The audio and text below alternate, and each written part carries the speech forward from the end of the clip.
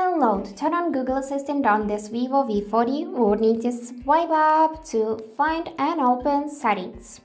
After that, scroll a bit so you'll see this Google tab, go in here and then from the recommended switch to all services and select search assistant and voice tab.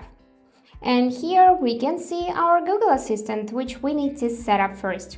And for that select this first Hey Google and Voice Match tab and as a first step, enable Hey Google by tapping on the switcher.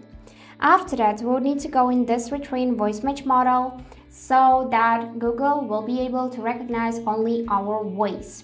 So to set it up, we will need to say out loud everything we'll see on the screen. Let me show you. Okay Google, what's the weather tomorrow? Okay Google, set a timer for 5 minutes.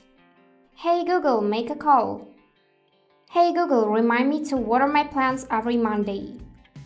And now Hey Google is ready. We need to tap this next button and now we can use Google. So let's try this out.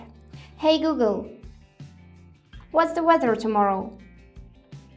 In Prague 3 it'll be mostly cloudy with a So everything is working just fine. We just need to return in its settings. Let's go back in this tab and here we can also customize our Google. We can go in the languages and add another language by tapping this option. Go in the lock screen and here we can enable this feature assistant responses on lock screen. This is the personal results tab.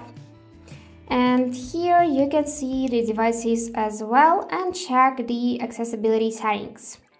So that's it for today. Hope this video was helpful and thank you for watching.